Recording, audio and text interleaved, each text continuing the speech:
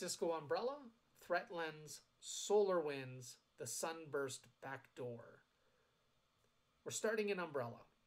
And the first thing we see is an alert around Sunburst. We pivot into what we call Threat Lens, and this is going to give us a perspective of these domain-based IOCs in our environment over a period of time. Now you can see I have nothing. I'm going to pivot into Talos to learn more about this particular campaign. And um, what's really good about Talos is not only does it talk about you know how things have happened and provide links to other coverage as well, but gives you an idea of of what mitigating controls might be available to you. The other thing that's really good is that you get these IOCs. And so what we're focused on is these domain-based IOCs. And so what we're going to do is copy this into a text file and we're going to reference them by running a script. And the reason why I'm doing this is two things. One is I want to see that I have mitigating controls, right? This is a safe way of checking. Um, and the other thing too is um, I want to, in my case, see data in threat lens, like as if I was compromised.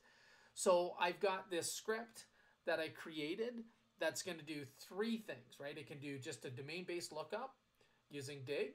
It can use, it can do an HTTP GET request using wget, or it can do both at the same time.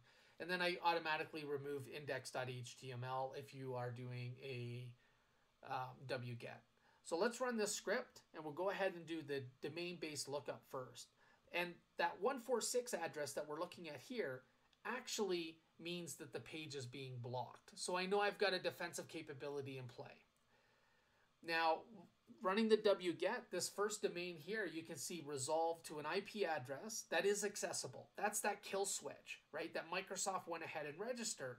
And what that does is essentially make the campaign or malware or whatever uh, ineffective, right? It shuts it down, and um, which is great and, and is allowed. So we've done the wget. We again see the IP address that we're familiar with around blocked page. Now we're going to run them both. And again, you only need to run maybe the domain lookup to see this data in Umbrella, but I'm, I'm running uh, and creating a bunch of noise um, so we can see that within the console itself.